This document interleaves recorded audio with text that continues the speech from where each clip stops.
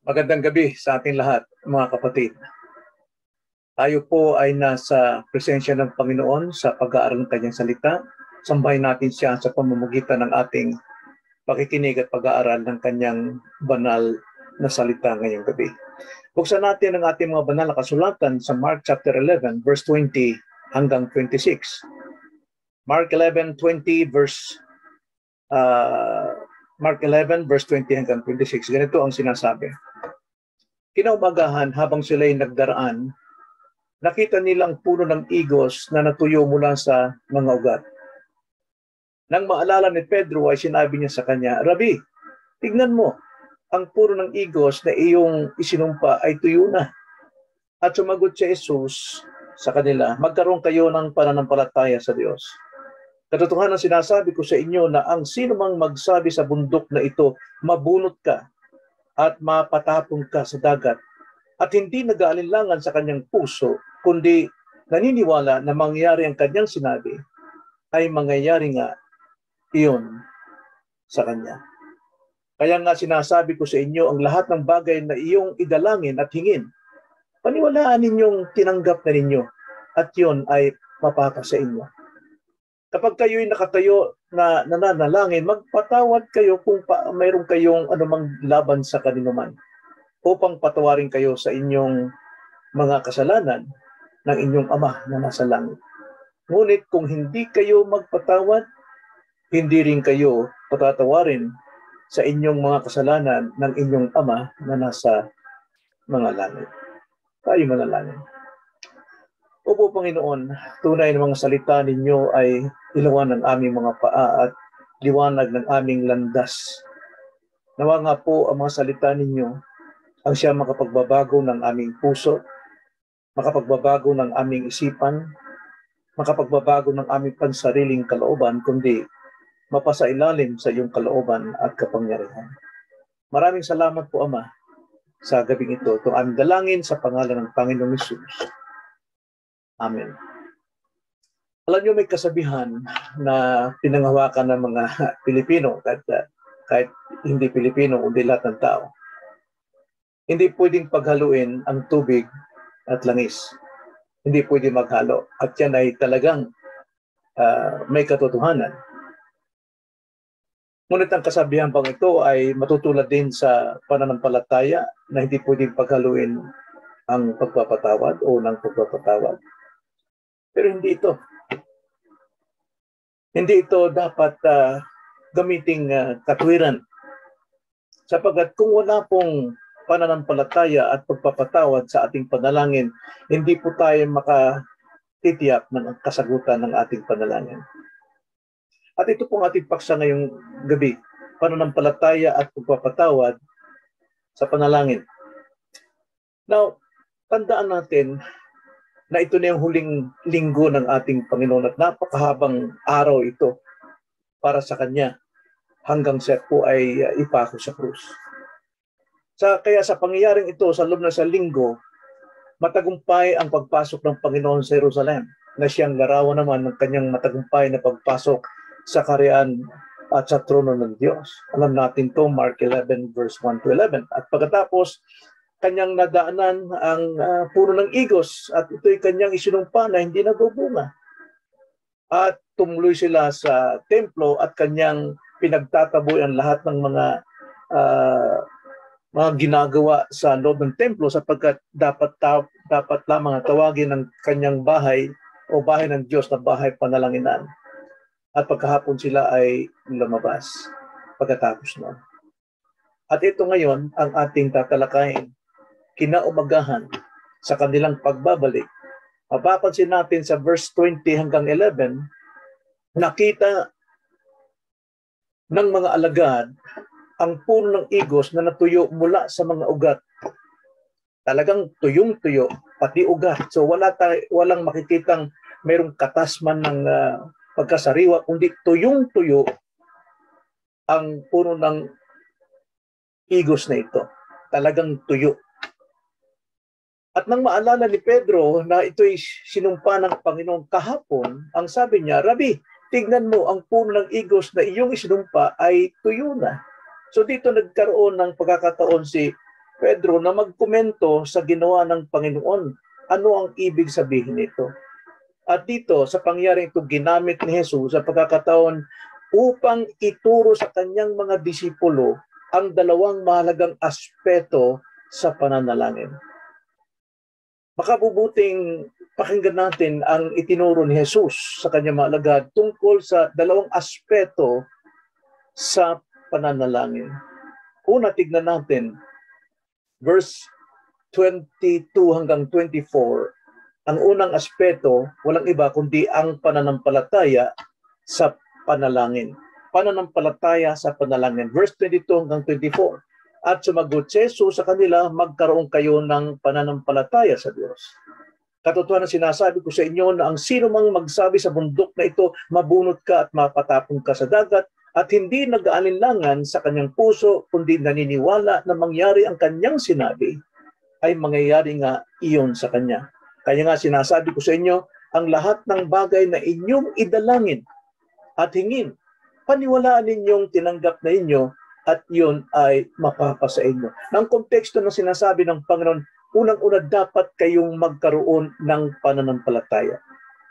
Pananampalataya sa Diyos, ang sabi sa verse 22. Na ano bang pananampalataya ito? Yung magkaroon ka ng matibay na damdamin na nangingilabot ang iyong mga balahibo pa dahil ikay sumasampalataya sa Diyos. Mga kapatid, hindi po yan ang ibig tukuyan at karamihan, ganyan ang ginagawa ng maraming mananampalataya napakalaga ng pananampalataya sa Diyos pagdating sa panalangin. Paano tayo makakatiyak na tayo may ganung pananampalataya sa panalangin? Tandaan natin palagi ang Romans 10 verse 17 na ang sabi, ang pananampalataya ay nanggagaling sa pakikinig ng salita ni Kristo. Salita ng Diyos, sapagkat sa salita ng Diyos, dito mo maunawaan ang katotohanan, dito mo malalaman ang iyong kamalian, dito mo malalaman ang iyong kaligtasan, dito mo makikilala ang Diyos. Kaya ang pananampalataya ay batay sa pagkakilala natin sa Diyos. Kung tayo po ay malago sa pagkilala sa Diyos, alam natin matibay ang ating paniniwala sa Kanya sapagkat bawat katangian, bawat attributes ng Panginoon, ng Diyos, ay nalalaman natin, kilala natin siya. Kaya nga, itong problema sa maraming Kristiyano ngayon na sinasabi lang sila'y may pananampalataya pero hindi nila kilala ang Diyos. At makikilala lamang natin ang Diyos sa pamamagitan ng kanyang attributes, ng kanyang mga katangian. Hindi natin nakikita ang Diyos pero nagpapakilala siya sa pamamagitan ng mga katangian. Kaya marami po ang naliligaw at na, na napupunta sa kamalian ng mga nagsasabing Kristiyano na kilala nila at uh, sila'y sumasampalatay sa Diyos pero hindi nababatay sa kanilang pagkakilala sa Diyos. Kaya ang sabi nga sa Hosea chapter 4 verse 6, ang ating bayan ay nawawasak dahil sa kakulangan ng kaalaman. Bakit daw? Sapagkat itinakwil mo ang kaalaman, kaya itinakwil din kita bilang aking pari. At yamang iyong nilimot ang kautusan ng Diyos, akin ding lilimutin ang iyong mga anak. Yun yung problema eh. Maraming namumuhay sa damdamin, sa emosyon na siya'y sumasampalatay si Diyos, pero ang kanyang panampalataya, hungkag, walang laman. Ampaw. Bakit po? Wala pong katotohanan natatanggap niya tungkol sa Diyos. Dahil sa kakulangan sa kalaman, marami po ang naalipin ng maling paniniwala ng kasalanan, naalipin ng kasalanan. Kaya ang sabi nga ng Panginoon sa kanyang sulat, sa, sa kanyang sinabi sa John 8, 31, 32, kung tunay na kayo yung mga alagad ko, mananatili kayo sa aking salita, sapagat sa aking salita, malalaman ninyong katotohanan at ang katotohanan ang siya makapagpapalaya sa inyo. At tugtong pa ng ating Panginoon sa John 17.3, ito ang buhay na walang hanggan, ang makilala ka na isang Diyos at si Kristo na iyong sinugo. Napakalaga po ang makilala natin ng Diyos at si Kristo sapagkat dito lamang lumalago, tumitibay ang ating paniniwala sa Kanya sapagkat siya ating nakikilala. Kanya nga sa pamamagitan ng pagkilala natin sa salita ng Panginoon, dito tayo nakakapamuhay na malago, matuwid at banal. John 17:17, ang sabi nga ng Panginoon, prayer niya para sa kanyang mga tao, pabanalin mo sila sa katotohanan, ang salita mo ay katotohanan. na kung puros damdamin, puro sa pakiramdam lamang, emosyon lamang, sinasabing sumasampalataya ko sa Diyos, kahit sa panalangin natin, puros damdamin, walang katotohanan, hindi po matibay ang ating paniniwala sa panalangin. Hindi, hungkag po, wala pong laman. So ano nakikita natin dito? Na sina, inuutos ng Panginoon, magkaroon kayo ng pananampalataya sa Diyos. Ang pananampalataya ito ay hindi emosyon, hindi damdamin kundi pananampalataya buhat sa matitibay na katotohanan ng iyong natutunan sa salita ng Panginoon. So ano po sinasabi dito? Anong kahalagahan po ng pananampalataya? Napakalaga po ang pananampalataya sa panalangin sapagkat sa panalangin po Diyos ang gumagawa. Diyos ang tumutugon sa ating pananalangin. Depende sa pananampalataya natin, nababatay natural. Kaya nga sabi sa verse 23 sa ating teksto, katotohanan sinasabi ko sa inyo, nang sino mang magsabi sa bundok na ito, mabunot ka at mapatapon ka sa dagat at hindi nag-aalilangan sa kanyang puso, kundi naniniwala na mangyayari ang kanyang sinabi, ay mangyayari nga iyon sa kanya. Ibig sabihin po mga kapatid, kung ating kilala ang Panginoon, matibay ang ating paniniwala sa Kanya dahil sa pagkakilala natin sa Kanya, maasahan mo ang mga imposibleng bagay na hindi mo magagawa. Tanging Diyos lamang ang gagawa. Dahil dito, gagawin ng Diyos para sa iyo. Dahil sa iyong paniniwala sa Kanya, pananampalataya sa Kanya. Ang sabi 24, kaya nga sinasabi ko sa inyo, ang lahat ng bagay na inyong idalangin at hingin, paniwalaan ninyong tinanggap na ninyo at iyon ay mapapa sa inyo. Alam niyo mga kapatid, kung tayo po ay mayroong tamang pananampalataya, Totoo niyan eh. Eh, magtiwala tayo, natanggap na natin. Tulad ng kaligtasan. Paano natin matatanggap ang kaligtasan? Sa magitan ng pananampalataya. At ang pananampalataya natin ay hindi nagmumula sa ating sarili, kundi ang pananampalataya natin nung makarnig tayo ng pangangaral tungkol kay Kristo.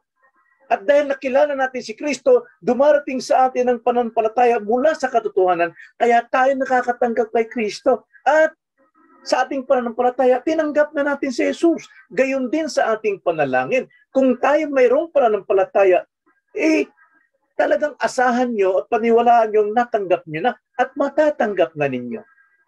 Ay nga napakalaga po ang pananampalataya pagdating sa panalangin. Nasa Diyos po ang ating pamumunga. Nasa Diyos sapagkat tayo po'y mga sanga lamang at hindi tayo makapamunga sa ating sarili. Hindi tayo makakatanggap ng pagpapala ng sustansya sa ating sarili. Kailangan nating sumipsip o kailangan nating kumuha mula sa puno, sa ugat at puno. At walang al- alam natin na si Kristo ang siyang ugat at puno na ubas na doon tayo nakakabit. Ang sabi nga sa sa uh, sa salita ng Panginoon, mga kapatid, na siya po ang atin pong ugat ng pamumunga. Basahin natin ang Hosea 14.8. O Ephraim, tumutuko ito sa mga tao ng Diyos. Ephraim, at iyon po ay parang tayo na rin sa ating mananampalataya ngayon. O Ephraim, ano ba ang kinalaman ko sa mga Diyos-Diyosan?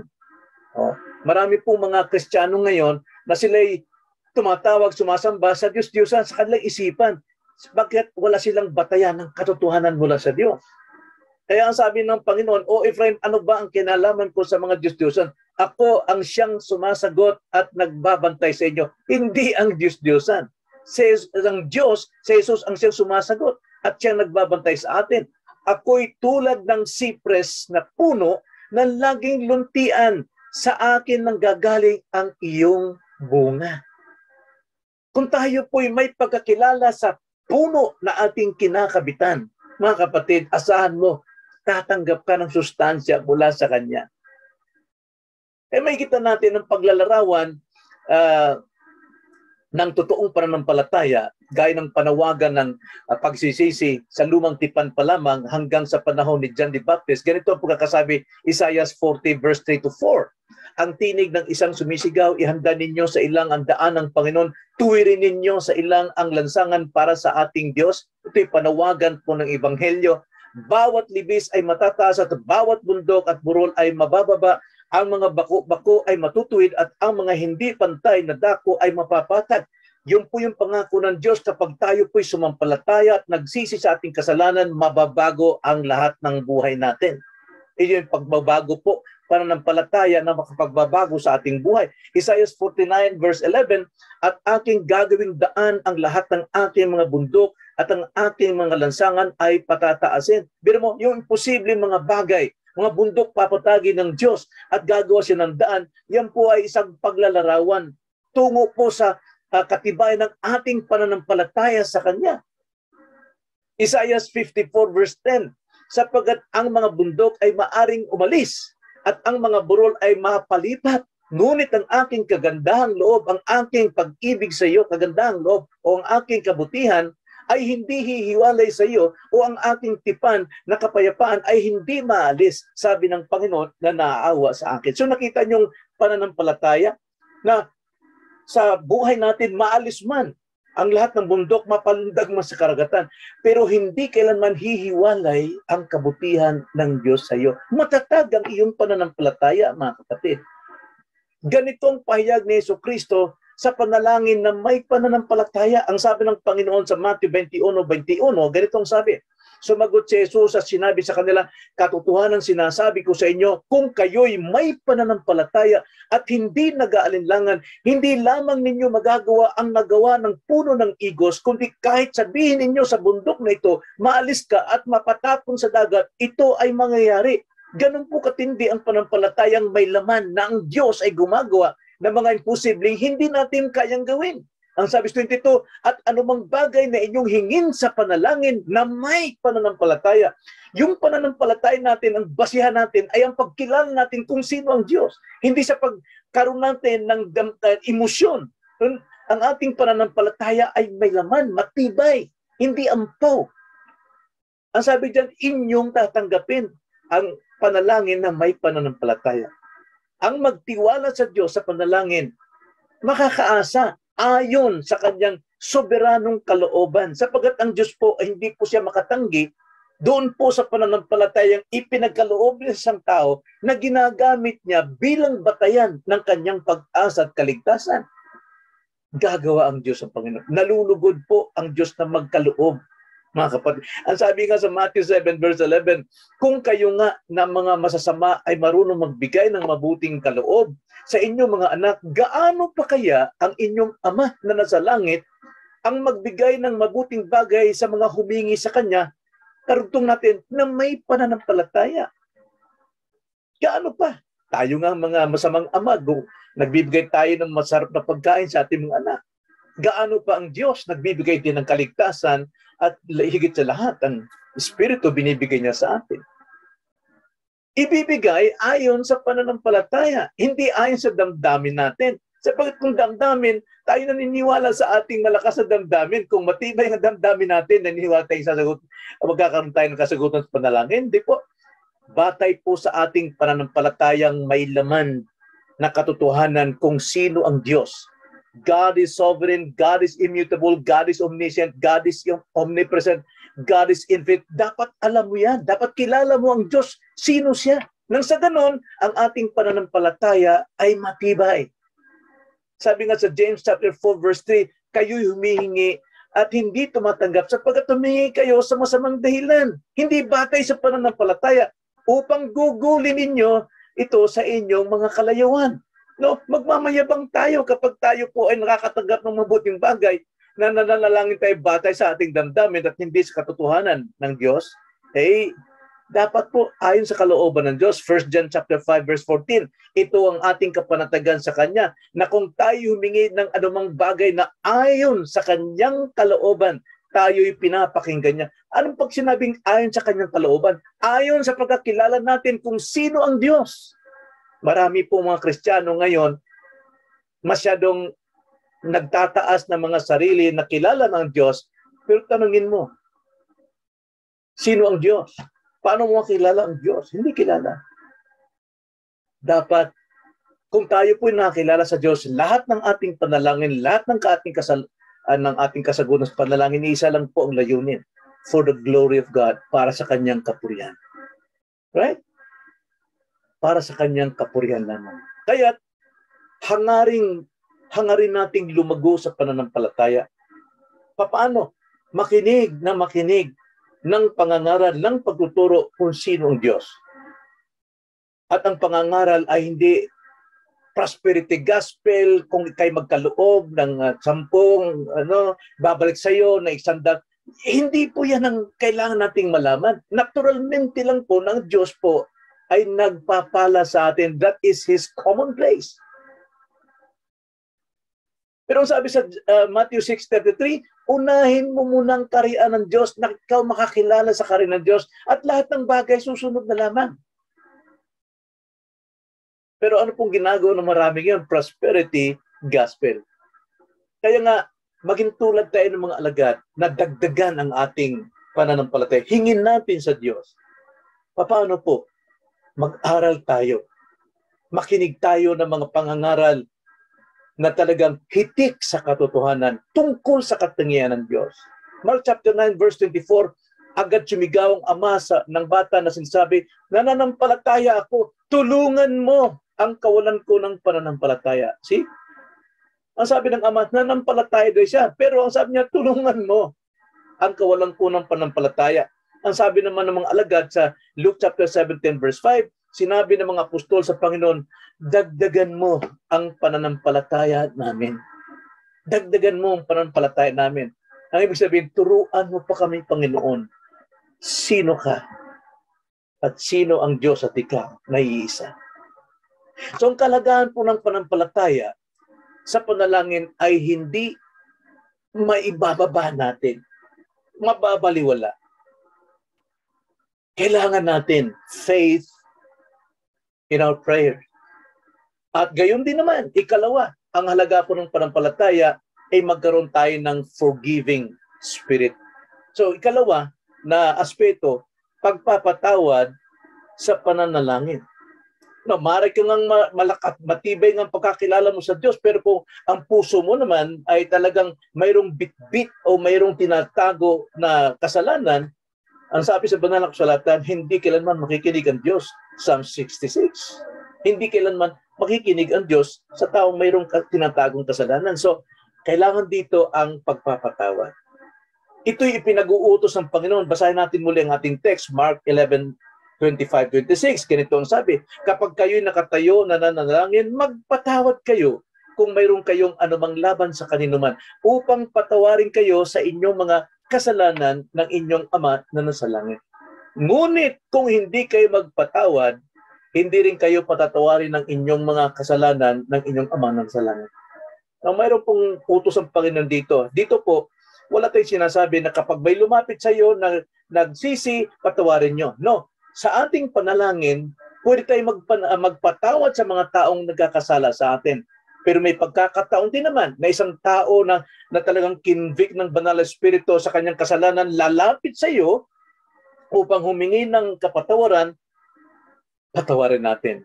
Ang sabi ni Pedro, ilang beses, Panginoon, hanggat siya'y lumalapit na humingi ng kapatawaran, patawarin mo ang tao niya. So dito po sa konteksto natin, sa panalangin, you have to forgive magpatawad ka sa kasalanan ng iba. So paano ka magkakaroon ng panampalataya sa panalangin kung puno ka ng sama ng loob sa iyong puso? Kung mayroon kang unforgiving spirit. Napakalaking kamalian yan. Napakalaking problema yan sa isang mananampalataya. Sapagat yan po ay pagdalamhati sa banal espiritu at ang pagdalamhati sa banal espiritu tayo nagkakasala sa Diyos.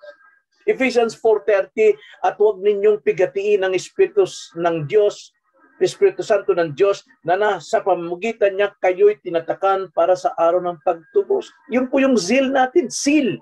No, tatak natin na aprobado na tayo pagdating po ng Panginoon, tayo po'y kanyang kakaunin sapagat tayo kanyang mga tao, kanyang mga ingligtas. Ang banal na espiritu napipigati po kung mayroon tayong tinatagong kasalanan. So we have to forgive magpatawad ka sa pananalangin. Ito'y turo mismo ng ating Panginoon. Saan? Doon pa lamang sa sa Sermon of the Mount, no, sa Sermon sa Bundok, sa chapter 5, verse 7, itong turo ng Panginoon, mapapalad ang mga mahabagin, mauwain, sapagkat sila'y kahabagan. Tignan nyo, tingnan nyo ang uh, cause and effects. Ano? Kapag ikaw po ay nahabag, kahabagan ka rin ng Diyos. Kapag ikaw nagpatawad sa kapwa, patatawarin ka rin ng Diyos. Napakaganda po yan. At ito rin po ang turo ng Panginoon sa kanyang pagtuturo ng panalangin sa kanyang mga lagad. Matthew chapter 6 verse 12, ganitong sabi, At patawarin mo kami sa aming mga utang, gaya rin namin na nagpapatawad sa mga may utang sa amin. At huwag mo kaming dalhin sa tukso, kundi iligtas mo kami sa masama. Sapagkat kung pinatatawad ninyo ang mga tao sa kanilang mga kasalanan, patatawarin din naman kayo ng inyong Ama na nasa langit. Yun po, wala po yung taong nagko-confess. Pero ikaw mismo, sa harapan ng Diyos, humingi ka ng kapatawaran at pagpapatawad doon sa taong nagkasala laban sa iyo. Verse 15, ngunit kung hindi ninyo pinatatawad ang mga tao sa kanilang mga kasalanan, hindi rin naman kayo patatawarin ng inyong ama na sa inyong mga kasalanan. Mabigat po yun, mga kapatid. Turo po ng Panginoon. Paulit-ulit po niya na tinuturo ito. Sa sermon niya sa kapatagan, sa Luke chapter 6, verse 7, 37, ganun din ang turo ng Panginoon. Huwag kayong humatol at hindi kayo hatulan. Huwag kayong humusga at hindi kayo huhusgan. Magpatawad kayo at kayo'y patatawarin. Utos po ng Panginoon yan.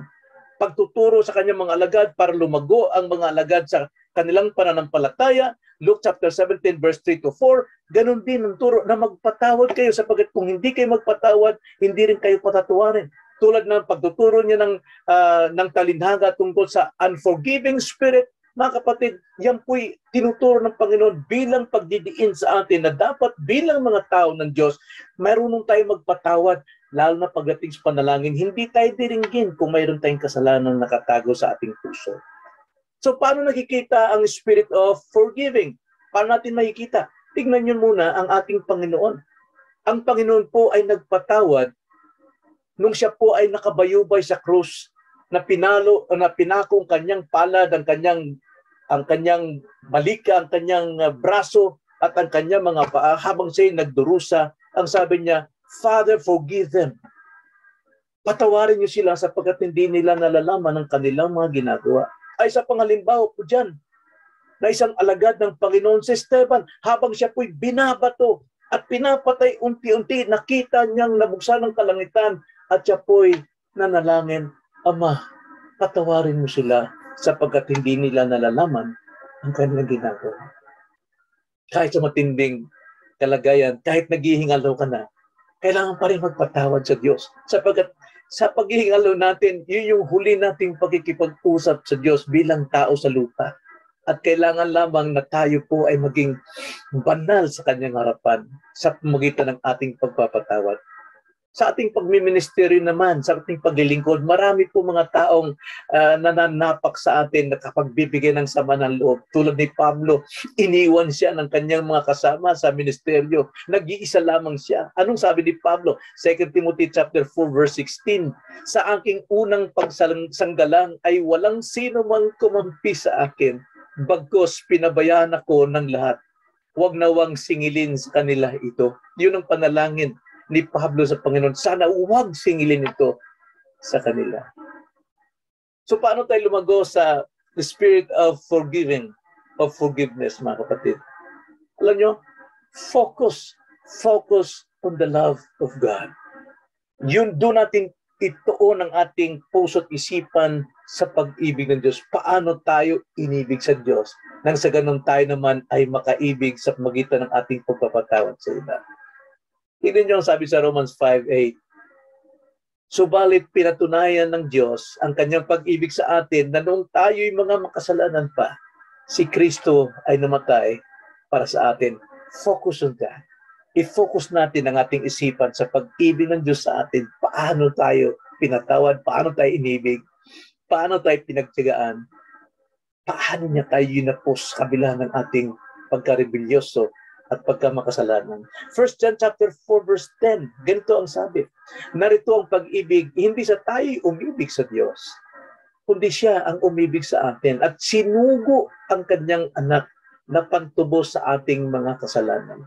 Mga minamahal, kung tayo'y inibig ng Diyos ng gayon, nararapat na mag-ibigan din tayo, naman tayo sa isa't isa. Kailangan lang gawin natin na magpatawad tayo sa iba. Hindi po magiging mabisa ang ating panampalat ang ating panalangin kung wala pong pagpapatawad. Sapagkat kung wala pong pagpapatawad, wala po tayong matibay na pananampalataya. Head knowledge lamang ang kaalaman natin sa Diyos kung kilala natin siya sa kanyang attribute, sa kanyang katangian, head knowledge. And that knowledge, ang sabi sa 2 Corinthians 8.1, knowledge puff up.